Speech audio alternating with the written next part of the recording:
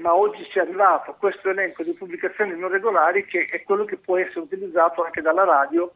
eh, per essere ritrasmessa. Ecco, questo, stiamo lavorando sul piano tecnico per creare gli strumenti per rendere il più trasparente possibile l'elenco delle pubblicazioni regolari e per fare in modo che tutti i rivenditori siano a conoscenza il più possibile di questo tipo di elenco. Poi i distributori locali che non lo accetteranno se ne assumeranno la, la responsabilità perché voglio dire le leggi dello Stato non è che riguardano solo noi, riguardano anche loro. E quindi chiunque dovesse continuare, come sta facendo adesso, a respingere del, dei prodotti non regolari, allora io inviterò le strutture locali nostre, ma ne parleremo anche al nostro direttivo dell'1 marzo, inviterò le strutture locali nostre intanto a fare immediatamente segnalazione all'antitrust, perché lì c'è un abuso di, di posizione dominante che va colpito immediatamente e poi se questo crea dei problemi economici alla rete di vendita fare anche qualche denuncia penale perché bisogna cominciare a, ad arrivare anche su quel terreno lì. E, sulla disgregazione degli editori, tu dicevi, seconda sì. questione, eh, sembra essersi fermata, la, la, la FIEG rappresenta un certo numero di editori, chi è uscito dalla FIEG, in particolare di quotidiani, eh, li andremo a contattare, noi siamo d'accordo con le altre organizzazioni anche su questo, che faremo una lettera per chiedere loro un incontro per vedere cosa vogliono fare, perché loro oggi, tipo il gruppo messaggero, è uscito dalla FIEG, ma insomma al momento sta gli accordi esistenti, ma vogliamo capire se domani darà il 10% di sconto, darà il 40% o se continuerà ad applicare gli accordi o che cos'altro. Eh, la cosa interessante è che con una serie di editori piccoli, purtroppo piccoli, eh, si stanno aprendo dei fronti che rompono un meccanismo, qualcuno che comincia a dare l'agio sul prezzo intero eh, di copertina, qualcuno che dice incontriamoci e parliamo per vedere come noi possiamo eh, evidenziare le nostre pubblicazioni eh, dando anche all'edicolante qualche cosa in più, cioè il fronte del nulla si muove eh, si è sostanzialmente rotto. È vero che stiamo parlando in gran parte di editori non associati alla FIEG, uh-huh. quindi loro sono liberi di muoversi come ritengono perché se non sono associati e loro non hanno un accordo nazionale a cui fare riferimento, ne possono fare uno direttamente loro. È chiaro che ci sono in mezzo i distributori nazionali, ma anche il fronte, il blocco che i distributori nazionali hanno rappresentato fino a qualche tempo fa, eh, quel blocco lì un po' si è inclinato perché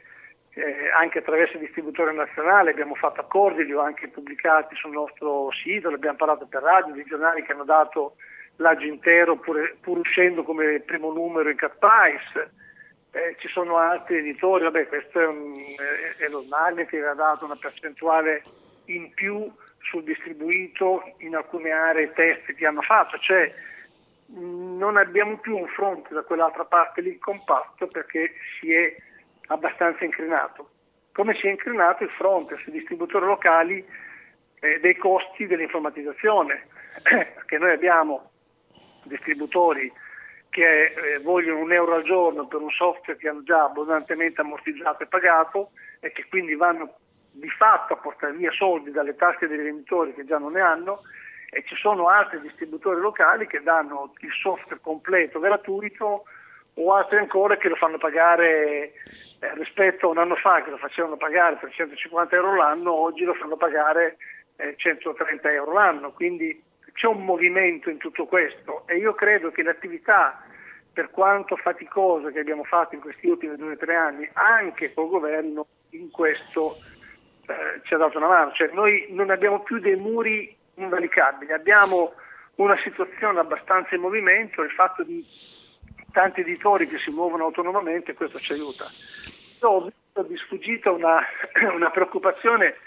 su quello che ho detto sugli abbonamenti aspetta, sì, aspetta, aspetta un attimo perché tu hai citato il governo, quindi ci sta tutta uh, la domanda su eventuali novità a proposito dei decreti attuativi, visto che c'è stato il tavolo nazionale volevo sapere se hai racimolato qualche informazione su questo. No, voglio dire, abbiamo scavallato la crisi del governo Renzi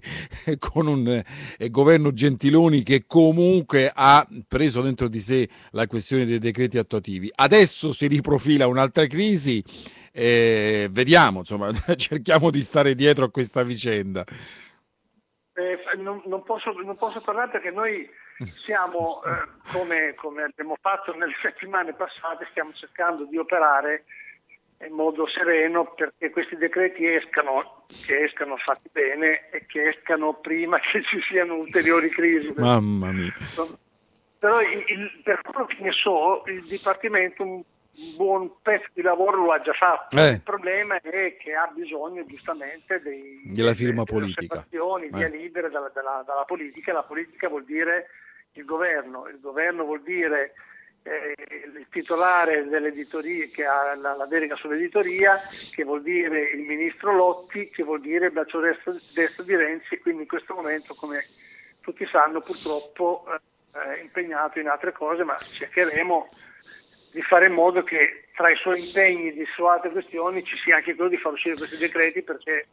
è importante, cioè servono sia a noi, servono anche agli editori per quello che riguarda finanziamento delle testate, quindi c'è dentro della, della polpa sostanziosa e vediamo... Eh. Eh, Passami... Passami la battuta, saranno gli edicolanti a riunire di nuovo il PD.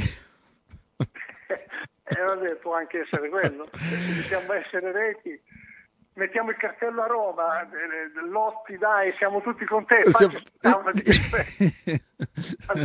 almeno fino a quando ci fai il decreto, dopo ognuno è libero di dire quello che vuole, ma fino a che non ci fai il decreto noi siamo tutti vicini a Lotti e lo sosteniamo. Vabbè, allora ti, ri- ti, rilascio la parola per eh, rispondere alle osservazioni che stanno girando sulla chat a proposito di una tua no, affermazione io... sugli abbonamenti online. Vai. Sì, io ne ho vista solo una, di, di... l'ho vista quella perché non riesco a stare senza... Sì, sì, no, ma è quella, quella diciamo che spicca e... di più. Vai. Vorrei tranquillizzare, tranquillizzare, perché quando io parlo di abbonamenti online non sto dicendo che noi ci mettiamo a fare gli abbonamenti online, sto dicendo che anche quelli che fino ad oggi e anche per il futuro andranno via per conto loro e che tendenzialmente gli editori cercano di, di tenere lontano dall'edicola, eh, noi quelli lì li vorremmo far veicolare da noi. Perché uno deve andare in banca per fare un bonifico e fare il suo abbonamento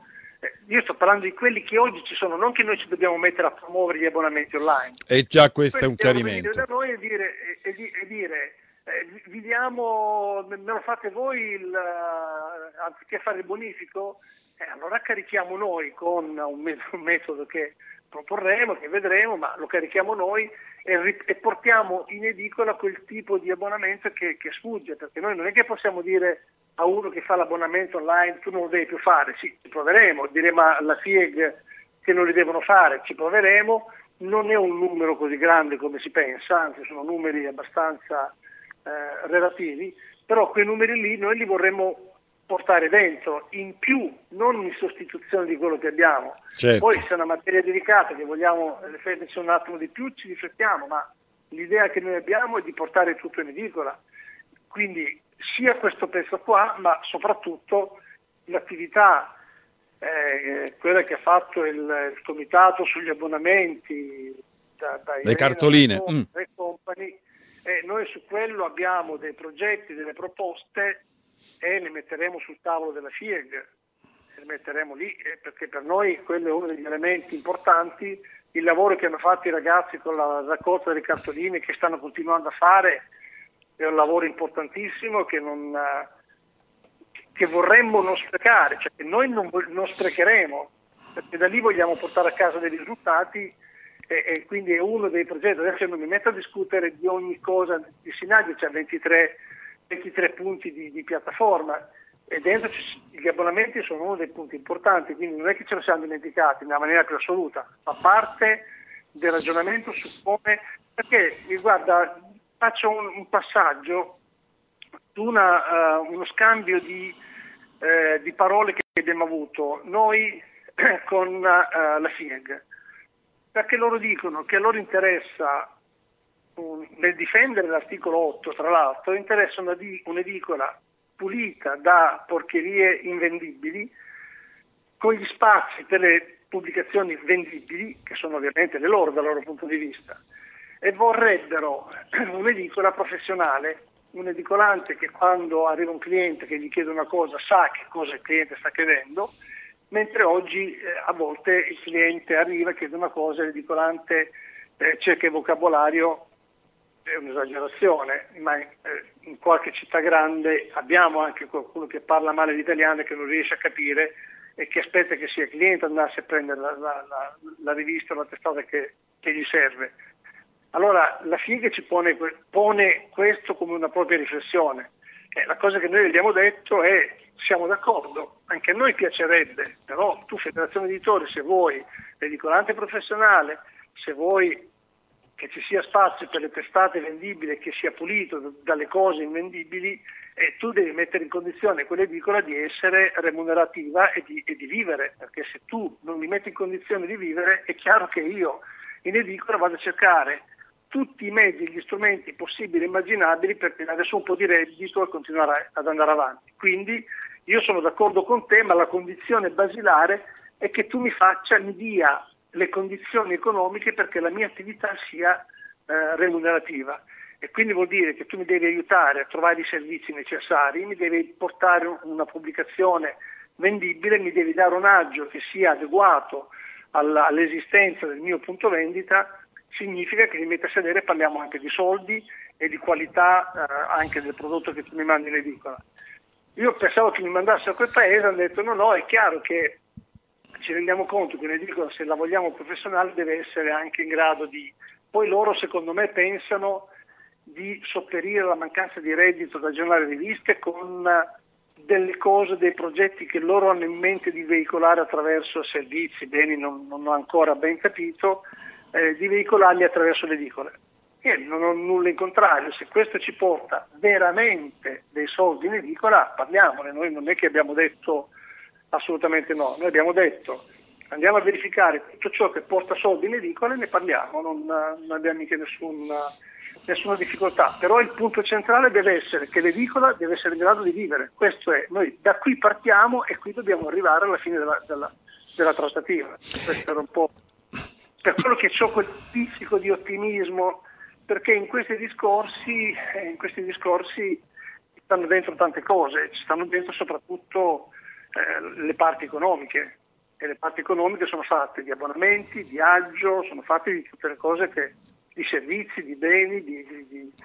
di condizioni che le edicole devono poter avere perché uno stop alla moria di edicole bisogna metterlo, cioè non è che possiamo andare avanti così. Ecco perché è importante questo discorso sul censimento, perché avere certo. un quadro chiaro della situazione e soprattutto sapere in quali settori e in quali aree intervenire. Qui c'è un limite sottile, la radio lo porta avanti da tempo questo discorso, ma io colgo l'occasione per eh, risollevarlo nel confronto eh, con te, eh, Giuseppe, e anche con gli ascoltatori. Una volta avuto il quadro chiaro della situazione, le aree eh, e soprattutto i settori, si può fare un ragionamento, a quel punto si può aprire un solco di confronto anche con le istituzioni e con la parte politica, e cioè a dire eh, arrivare a quel bene informazione come bene pubblico che deve coinvolgere le comunità territoriali, aprendo in questo senso l'edicola a un rapporto più diretto con il territorio. La radio crede molto a questo ragionamento che chiaramente non è paragonabile al tavolo di confronto eh, con eh, gli editori che ha soprattutto una sostanza economica, poi alcune modalità di rapporto, ma che in realtà lascia intravedere eh, nuove prospettive, perché dal momento che si ha un quadro chiaro della situazione, di, questa, di questo mestiere che potrebbe diventare una professione, ecco, mettiamola così, con una maggiore sensibilità nei territori, allora è anche eh, più facile, tra virgolette, andare a trattare trattare a un confronto più preciso con le istituzioni e con la parte politica, cioè a dire le edicole sono queste, le edicole sono importanti per il bene pubblico, informazione, bisogna tutelare e eh, consolidare. Le edicole che hanno passato questa, questo lungo tunnel della crisi e che quindi guardano con spirito nuovo